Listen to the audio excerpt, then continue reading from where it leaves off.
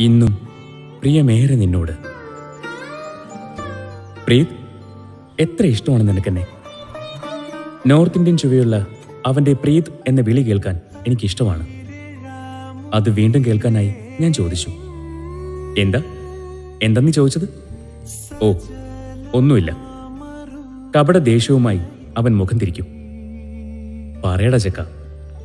അപ്പോൾ പിന്നെയും അവൻ ചോദിക്കും. എങ്കിൽ പറ പ്രീത്. എത്ര ഇഷ്ടമാണ് നിനക്കെന്നെ? എന്റെ കണ്ണുകളിലേക്ക് മിഴി പായിച്ചുകൊണ്ട് അത് ചോദിച്ചപ്പോ അവന്റെ കണ്ണുകളും അതിനുത്തരം തരുന്നതായി തോന്നി. ഇനിയും പറയാതിരിക്കാനാവില്ല. ഒരുപാട് ഇഷ്ടമാണ്. ആ മറുപടി കേൾക്കേണ്ട താമസം ഒറ്റ കണ്ണടച്ച് ഒരു കള്ളപ്പുഞ്ചിരിയോടെ അവൻ എന്റെ കൈ പിടിച്ച് ഉള്ളം കൈയിൽ ഒരു മുത്തം നൽകി. പിന്നീട് ഒരു സർപ്രൈസ് പോലെ ബാഗിൽ നിന്നും ഒരു പാക്കറ്റ് എടുത്ത് എനിക്ക് നേരെ നീട്ടി. അല്ലെങ്കിലും എനിക്ക് സർപ്രൈസുകൾ ഒരുക്കുവാൻ അവൻ എന്നും ഉത്സാഹിച്ചിരുന്നു. ആ പാക്കറ്റ് തുറന്ന ഞാൻ ഞെട്ടിപ്പോയി. ഒരുപാട് നാളുകളായി ഞാൻ വായിക്കാൻ കൊതിച്ച ആ പ്രേമലേഖനം. വൈക്കം മുഹമ്മദ് ബഷീറിന്റെ പ്രേമലേഖനം എന്ന നോവൽ.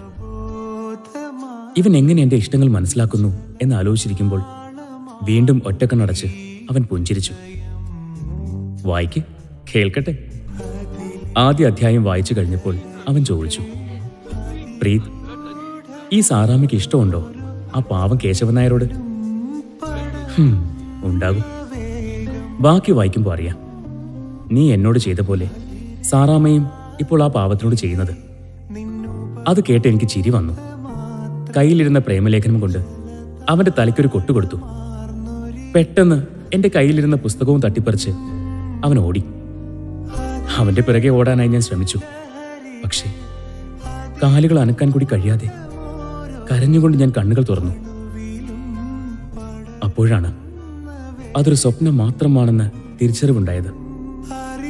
എന്നാൽ കഴിഞ്ഞകാല യാഥാർത്ഥ്യങ്ങളോട് തൊണ്ണൂറ്റിയൊൻപത് ശതമാനം നീതി പുലർത്തിയ ഒരു സ്വപ്നമായിരുന്നു അത്. ഞാൻ കാണാൻ ഏറെ ആഗ്രഹിച്ചിരുന്നതും വായനയും പുസ്തകങ്ങളും ഏറെ പ്രിയമായിരുന്ന എനിക്ക് പുസ്തകങ്ങൾ കൊണ്ടുതരികയും അത് വായിച്ചു കേൾക്കുകയും ചെയ്യുന്നത് എക്കാലത്തെയും അവന്റെ ഇഷ്ടങ്ങളിൽ ഒന്നായിരുന്നു. ബാല്യകാലം ബീഹാറിൽ ചെലവഴിച്ച് നാട്ടിലെത്തിയപ്പോൾ പപ്പയുടെ സുഹൃത്തിന്റെ മകൻ എന്റെ കളിക്കൂട്ടുകാരനായി. അവന്റെ ചങ്ങാത്തം എന്നിലേക്ക് ഒഴുകി വന്ന് സ്വച്ഛമായ ഒരു നദിയായിരുന്നു. കൗമാരത്തിലെത്തിയപ്പോൾ ആ ചങ്ങാത്തം ഒരു ഇഷ്ടമായി വളർന്നു.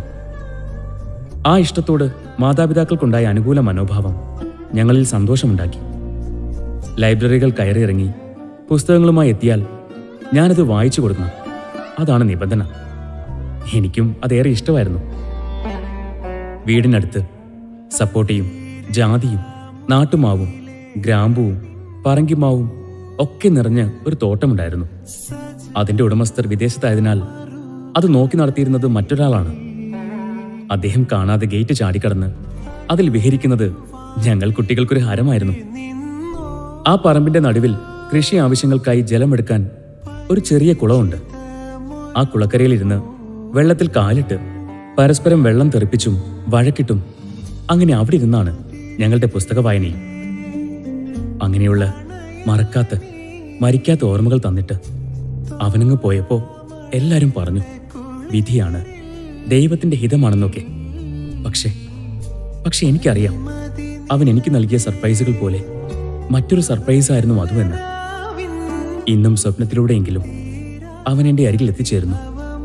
ഞങ്ങളുടെ ആ പഴയ സന്തോഷങ്ങളുമായി നക്ഷത്രക്കൂട്ടങ്ങൾക്കിടയിലിരുന്ന് എന്നെ നോക്കി അവൻ പുഞ്ചിരിക്കാറുണ്ട്. ഒറ്റക്കണ്ണടച്ച് ഞാനും അത് കാണാൻ നോക്കിയിരിക്കാറുണ്ട്.